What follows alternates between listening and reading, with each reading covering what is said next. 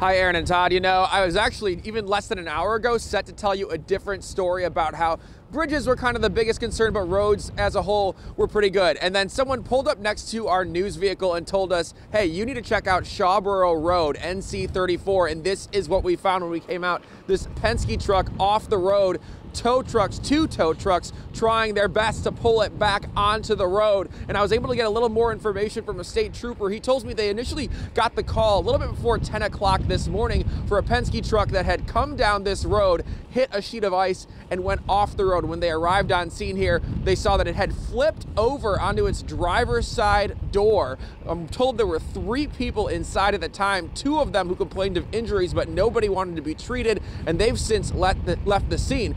But in the meantime, it's been a real struggle to get this truck back onto the road because I don't know how well you can tell, this road is a sheet of ice. It is an ice rink and nothing less than that. And so we've seen tow trucks slide as they've tried to pull it out. So while all of this is happening, state troopers have shut down this road. Uh, we have the uh, phone and internet company here too because the Penske truck took out a power pole on its way out, uh, a utility pole, I should say. And then if you look down the road here, you can see there's a pretty long line of vehicles waiting to get through. Really no telling at this point when they'll be able to open up the road again because that truck is still off the road. We're live here in Currituck County. Anthony Sabella, News 3.